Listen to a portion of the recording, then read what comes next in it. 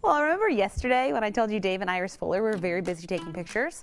Well, this just proves it. This time it's of their grandson Lane, who loves watching the snow fall with their dog Rico. Very cute. Next up, this beautiful shot of a bird in the winter sent in to us by Heather Hagenauer. That's fantastic. And then a throwback. Karen Howland sent in this picture of Sparky, the therapy dog, Shatsy, and Santa. Well, I bet you that those two are on the nice list. We want to see your photos, folks, so you know what to do. Keep them coming in. We've got our email address up on the screen for you now.